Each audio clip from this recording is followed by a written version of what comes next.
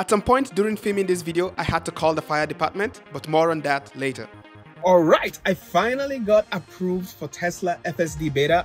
I've been on the waiting list now since late December. I've been trying to get into this program, but I got a notification today that I had a software update. And when I checked it, to my surprise, it was FSD beta. So I'm gonna be trying it out today to see how well it works. Uh, for a more in-depth video, I'm gonna be uploading that later. I'm gonna do a thorough review of this. So if you wanna see that, do make sure you're subscribed to the channel so you see that when that is updated. But for today, we're just gonna take it for a quick spin and see how well this works. So let's get to it. All right, so like I said, this is gonna be a very basic test. I'm just going somewhere five minutes out of my house. So let's give it a try. Um, autopilot has not yet uh, been engaged on this. So I'm gonna move a little bit to see. Okay, there we go.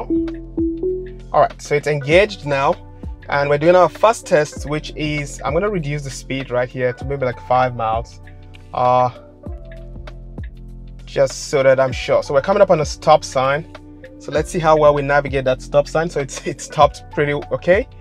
And we are moving forward. Okay, so far so good. Uh, this is a 25 miles an hour road, so it's adjusted that even from the speed that I, cha uh, I changed it to. Uh, so we're picking up here, and I'm gonna I'm gonna slow this down a little bit. Just again, uh, I want to make sure I'm comfortable with this uh, before we start going on maximum speed here.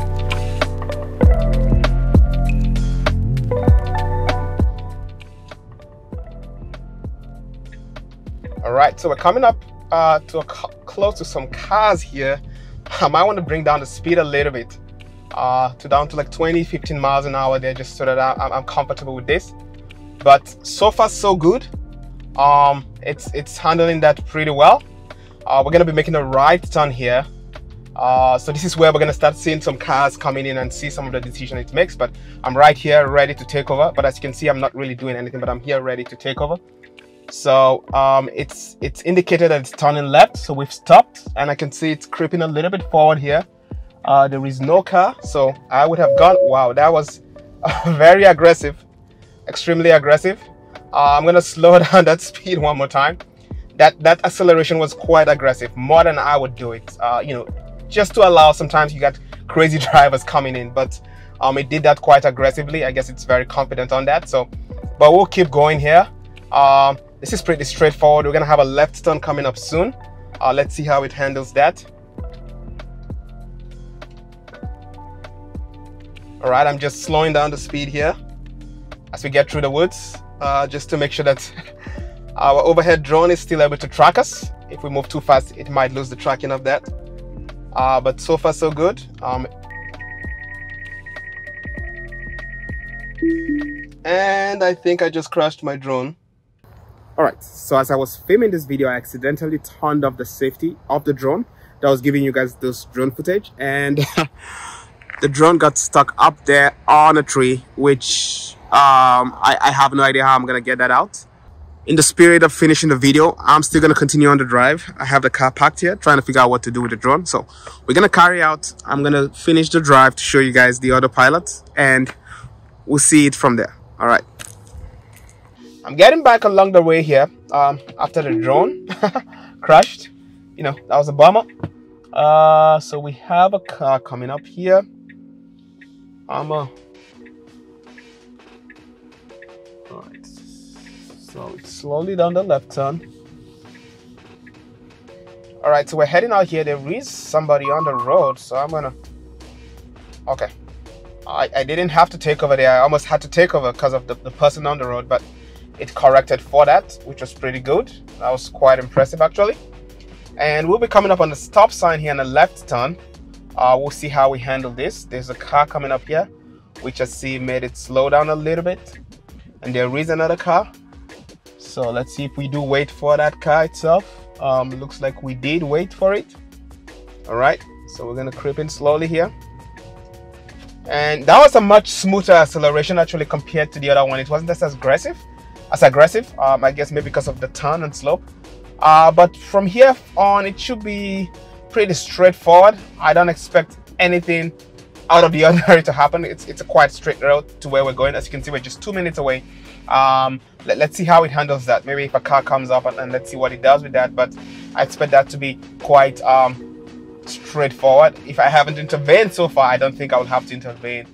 All right, so this is day two after the drone incident happened, and I thought I would probably just give you guys a little update. So I've tried everything I could possibly do to try to get the drone out with no luck. I even bought um, right here a slingshot from Amazon. Fired a couple of shots. I've tried all, but with with no luck at all. My wife actually suggested that I call the. We have a local uh, volunteer fire department just across, just probably like a minute away from where this actually happened. So she suggested that I call them. I'm a little bit skeptical about that, but I will give it a try. Uh, if I try uh, some few more things tomorrow and there's no luck, I'm gonna try call them and see I figured I might as well give it a shot. But uh, let's carry on with the review of the car and I'll keep you updated on that. Uh, we're coming up now on the final sort of left turn into the community center that I was heading into. Um, so it's done that turn pretty well. We're slowing down here and we are making that left turn. Let's see if we make it as aggressive.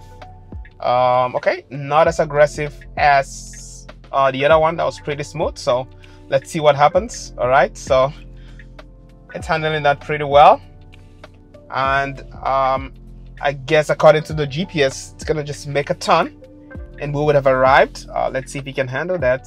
Uh, kind of seem to be freaking out here. I don't know why. Uh, okay. All right. It's moving me back and forth but I think it, we finally figured ourselves out. And um, all right. So that was pretty smooth. I really didn't have to um, intervene although it's kind of stopped and wants me to take over, it doesn't automatically park itself. Alright, that was my quick review. Let me know what you think in the comments. Thanks for watching. Alright, so here's a little update on our drone situation. So the next day I in fact did call the fire department and to my greatest surprise, they said yes. So they did come out there with a fire truck and used the lift to go up. But that drone was so far high that even with the fire department lift, it couldn't reach it. So they had to use a stick to poke it. But after a few shakes, the drone did fall down. Looks like it's in one piece, huh? Just popped out of it. Now we had a few broken arms here and there, uh, which should be able to be fixed. But I'm so grateful that I didn't have to buy a brand new drone. So thanks to the Laurel Volunteer Fire Department for helping me out with this. That was very amazing. You guys rock.